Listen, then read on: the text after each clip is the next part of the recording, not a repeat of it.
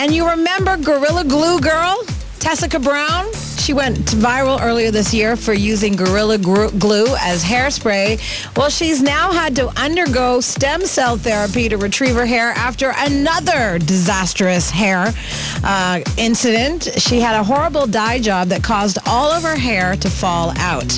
And uh, this happened uh, just months after uh, she had the Gorilla Glue incident and uh, she attempted to conceal some gray hairs with the dye, but ended up burning her scalp and losing all of her hair, which, of course, she documented once again on TikTok.